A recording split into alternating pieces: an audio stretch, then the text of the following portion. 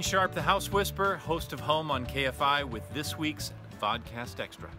I love giving you little tips that you normally are not going to hear anywhere else. And so this week, I thought I would address a subject that every DIYer has encountered who's ever tried to build something big and keep it square. So what we got going on in this yard right now is a shed is going to be built here day after tomorrow. And to get ready for it, we've laid some 6x6 pressure treated lumber down as a foundation. So a shed is not a big building by any standard, but it's bigger than most of the stuff you normally work on inside the garage or in the workshop or on top of a countertop. Places where squares like this come in really handy.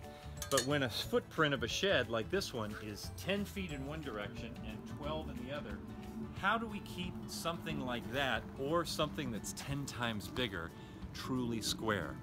Do we use this? No, forget that.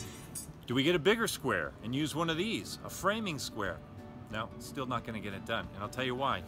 If there's even the slightest bit of inconsistency in our square against our wood, even a 16th of an inch over the course of, let's say, a foot, by the time you multiply that 16th of an inch error down 10, 12, 16 feet, we're already an inch out of square.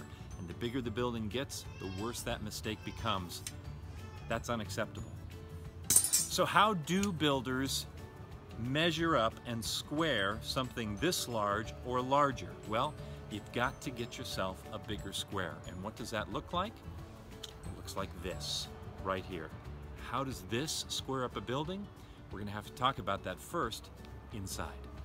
To understand this, travel back with me to ancient Greece and the time of a man called Pythagoras, a Ionian Greek philosopher and mathematician who, you probably didn't know, was rocking a really cool lumberjack beard and apparently had very narrow shoulders. Very strange. And here is a painting by the uh, 19th century artist Fyodor Bronnikov, Pythagoreans Celebrate Sunrise, which apparently represents the fact that uh, in ancient Greece, if you were a really cool mathematician, you got to hang out with musicians and uh, people got really emotional about it. Uh, definitely a different time. But what Pythagoras is famous for is, of course, the right triangle. And that is uh, not that he invented it, but that he figured out how to calculate based on the length of this side and this side what the hypotenuse was. Now, that seems kind of uh, abstract and ethereal, but the fact of the matter is it's very important when it comes to finding a building that is square because of course a right triangle has a 90 degree corner or in building terms it is square. Side A, side B, and the hypotenuse is side C, which leads us to his famous theorem, a squared plus b squared equals c squared. Now you might not think that builders are all that interested in theoretical geometry, and you would probably be right, but builders take math very, very seriously, especially when things get really, really big. And it's what we call the three, four, five. And what does that mean? It just so happens that those three numbers, 3, 4, and 5, precisely represent the features, the A side, the B side, and the C side. What does that mean? It means this. When I go out to a big building corner, I measure down one side three feet and I make a mark. I measure down the other side four feet and I make a mark. And then if I measure diagonally between those two marks, what do you think I should have? I should have five feet. So here we are back at the shed foundation. We're gonna find out if we actually built this thing square and we're gonna see if the three, four, five actually works. I'm pulling out of this corner, three feet. Making a mark. Go into the next corner, opposite direction, four feet. Making a mark. Now, the magic. From the far corner over to this one, guess what we have? Five feet. Three, four, five.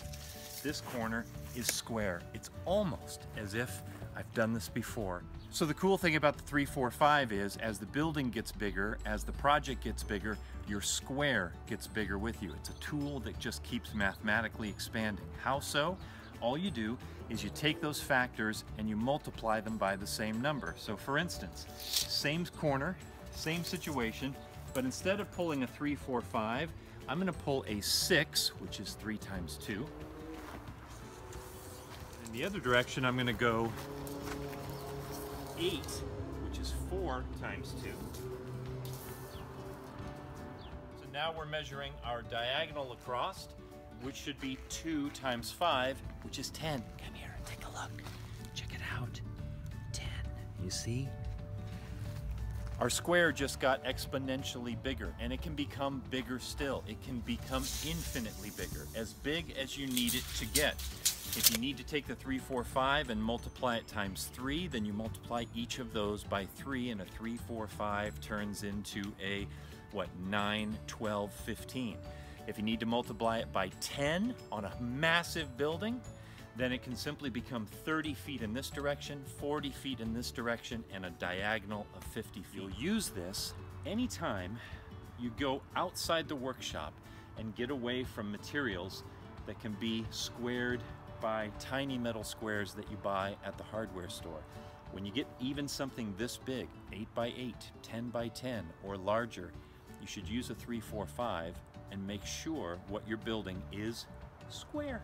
All right, hope you learned something today. Hope it was fun. Make sure to watch the show every Sunday at 10. I'll see you then.